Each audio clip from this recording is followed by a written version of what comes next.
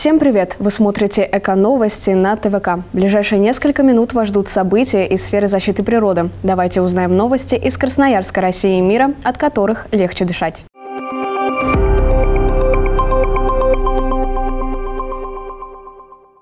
Редкие морские членистоногие и мечехвосты находятся под угрозой исчезновения из-за медицинской деятельности ученых. Об этом сообщает «Гардиан». Голубую кровь морских обитателей используют для создания вакцин. По данным ученых, мечехвосты спасли миллионы жизней людей по всей планете. Их кровь содержит клетки, чувствительные к токсичным бактериям. Когда эти клетки встречаются с инородными микроорганизмами, они образуют сгустки. Это позволяет ученым определить, заражены ли вакцины опасными бактериями. Однако за год в периоды отливов по всему миру собирают более 710 тысяч мечехвостов. У морских обитателей забирают половину их крови и отпускают обратно. По статистике природоохранных организаций, более 30% из них не выживают. За годы ловли численность животных сильно упала, в особенности на восточном побережье США. При этом в опасности находятся не только мечехвосты, но и экосистемы, в которых они обитают. Например, из-за этого сильно упала численность птиц, которые питаются их яйцами.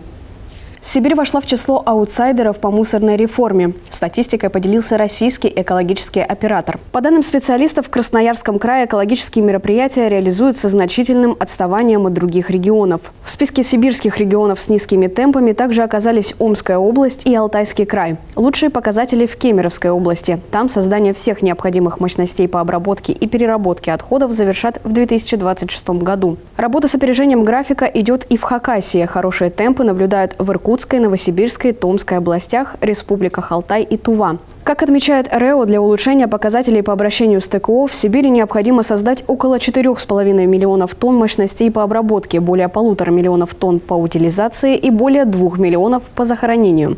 Объем затрат составит 78,5 миллиардов рублей.